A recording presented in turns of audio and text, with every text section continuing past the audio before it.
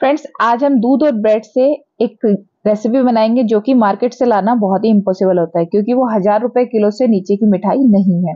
तो फ्रेंड्स मैं मोनिका आपका स्वागत करती हूँ मेरे चैनल माही खाना खजाना में। वीडियो अच्छा लगे तो वीडियो पर लाइक शेयर कमेंट कीजिए। चैनल पर नए हैं तो चैनल को सब्सक्राइब कीजिए। और हाँ बेल आइकन दबाना मत भूलिए, ताकि मेरी अगली वीडियो का नोटिफिकेशन झट से आपके पास पहुँच जाए।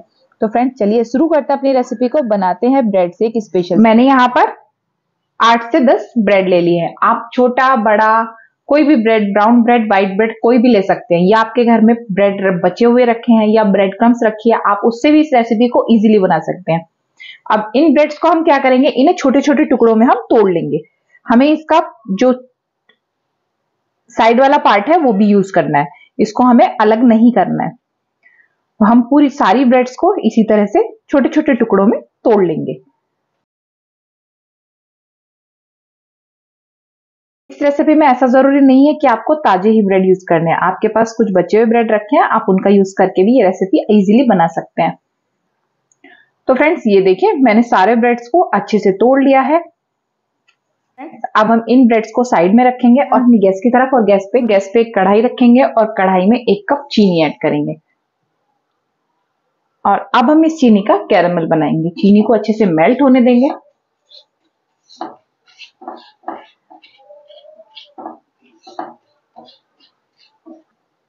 फ्रेंड्स ये देखिए, हमारी चीनी धीरे धीरे कैमल मेल्ट होने लगी है और अब हमें इसी चीनी से कैरमल बनाना है। इसको अच्छे से मेल्ट होने देंगे ताकि हमारी चीनी जल्दी से कैरमल बन के ताकि हमारी चीनी से जल्दी से कैरमल बन के तैयार हो जाए। गैस की फ्लेम को मीडियम ही रखेंगे। गैस की फ्लेम को हम ज़्यादा हाई नहीं करेंगे। तो फ्रेंड्स ये देखिए, हमारी चीनी धीरे धीरे मेल्ट होने लगी है और हमारी पूरी चीनी अच्छे से मेल्ट हो गई है। इसको थोड़ी देर ऐसे ही चलाते रहेंगे। ये देखिए फ्रेंड्स हमारी चीनी का कलर भी चेंज हो गया है। ये लीजिए, हमारा कैरेमल बन के तैयार है। अब हम इस स्टेज में, इसमें कप दूध ऐड करेंगे और इसको कैरेमल के साथ अच्छे से मिक्स करेंगे। फ्रेंड्स ये कैरेमल क्योंकि दूध ठंडा है और कैरेमल गर्म है, गैस की फ्लेम को बिल्कुल कम ही रखेंगे और कैरेमल को दूध में अच्छे से मिलाते रहेंगे।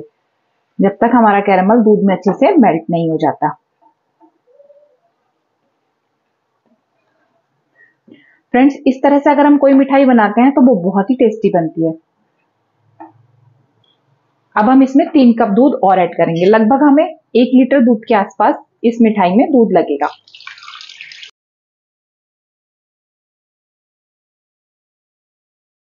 ये लीजिए, हमने कढ़ाई में दूध को ऐड कर दिया है। अब हम इसको अच्छे से चलाते रहेंगे।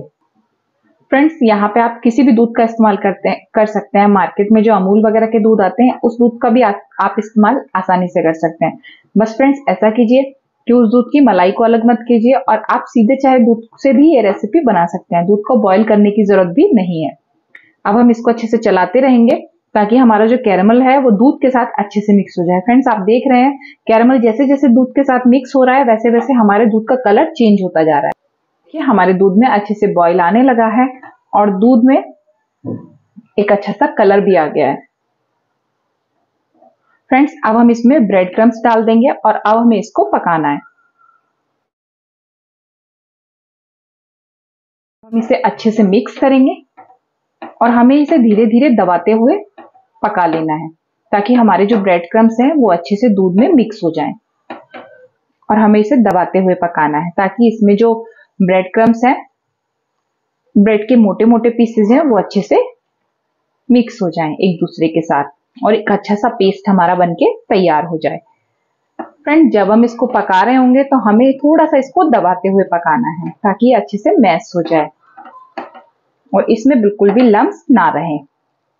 ये देखिए फ्रेंड्स ये अच्छे से मैश होने लगा है और बहुत ही अच्छे से दूध के साथ मिक्स भी हो गया है। फ्रेंड्स ये देखिए मैंने इसको अच्छे से मिक्स कर लिया है। अब हम इसमें थोड़ा सा नींबू का रस डालेंगे। फ्रेंड्स यहाँ पे इसमें एक से दो चम्मच नींबू का रस ऐड कर रही हूँ। आप चाहे तो सिप्टिक एसिड भी यूज़ कर सकते हैं। दोनों का काम बराबर होता है। अब हम इसको अच्छे से मिक्स करेंगे। फ्रेंड्स नींबू का रस डालने से क्या होगा? हमारी जो मिठाई है ना इसमें दाने बनेंगे। ये बिल्कुल चिपचिपा नहीं बनेगा थोड़ा सा बिखरा हुआ बनेगा।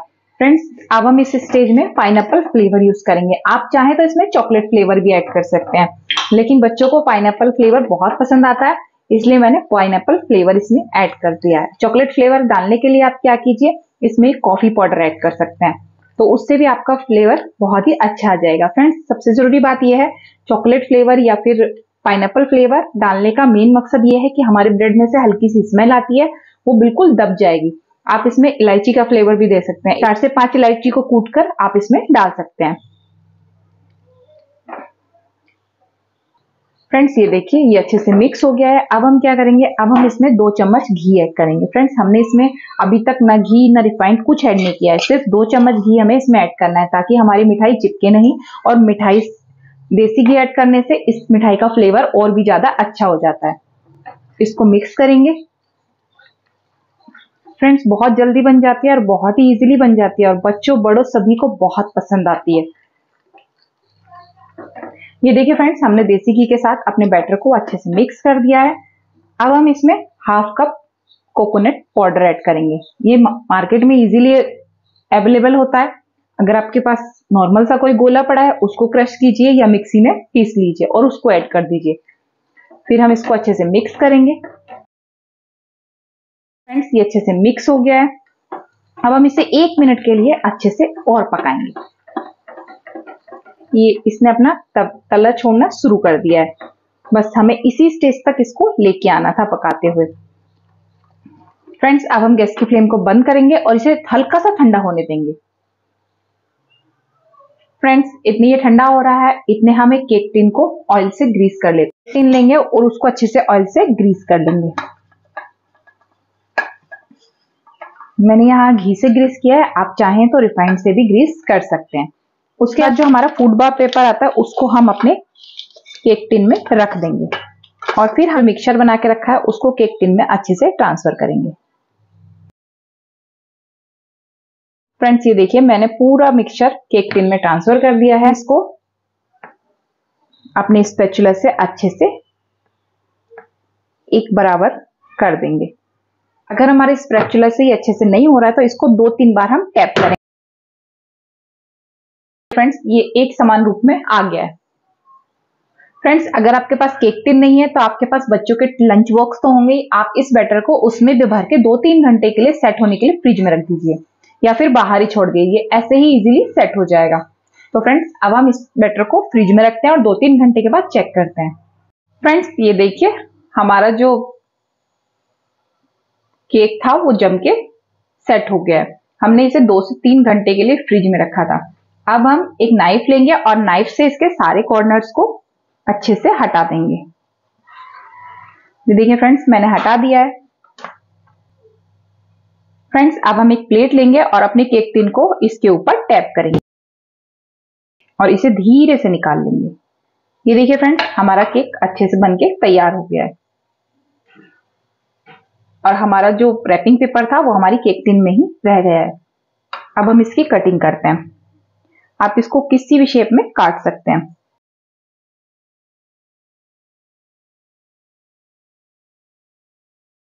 फ्रेंड्स ये देखिए, ये बहुत ही सॉफ्ट बना है। और इसमें आप जालियाँ भी देख रहे हैं तो ये इसका जो टेक्सचर है, वो भी बहुत अच्छा है। तो फ्रेंड्स ये लीजिए, जो बाज़ार से हम ब्रिटानिया का केक लाते हैं कुकीज वाला वो बन के तैयार है। तो फ्रेंड्स फिर इतना महँगा केक मार्केट से क्यों लाना? इसे घर पे इजिली बनाना। तो फ्रेंड्स आपको मेरा वीडियो अच्छा लगा तो प्लीज़ वीडियो पर कमेंट ज़रूर कीजिए।